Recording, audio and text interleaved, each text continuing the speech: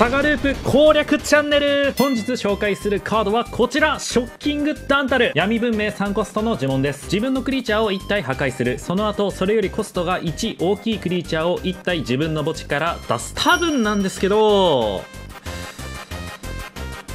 こいついつか伝導しますよ。まさすがに今回は佐賀本人がお勤めに行くと思いますけど、まあ冷静に一つ上のコスト踏み倒すカードを悪さしないわけもなく現在はいわゆるペディア型の佐賀に採用されており佐賀が効果でイザナギになってイザナギがダンタルでペディアになってペディアがダンタルでウォズレックになってウォズレックから迷いとダンタル打ってまあ人死にます。それこそいやこっからがまあダンタル型の真骨頂で佐賀が2枚ない時のループ導入にも使えます。で言いますね。佐賀効果でイザナギ蘇生。イザナギ効果で迷い佐賀蘇生。佐賀効果でもう一度イザナギ蘇生。イザナギ効果でダンタルでペディア。ペディア効果で迷い佐賀蘇生。これでまた佐賀を蘇生しつつイザナギは墓地に戻りつつペディアの効果で次にイザナギで使う呪文2倍です。ズーム型にはもう存在しないルートが無数にあります。それこそ悲嘆とか相手ならイザナギでダンタルってペディア出して正直なんか適当にやってたら勝てますしそれこそ先日の CS こちら盤面ブルース1体手札0トップで引いたダンタルブルースに当てて2たす1は3なので佐賀を出しそのままマットロバノフにつなげて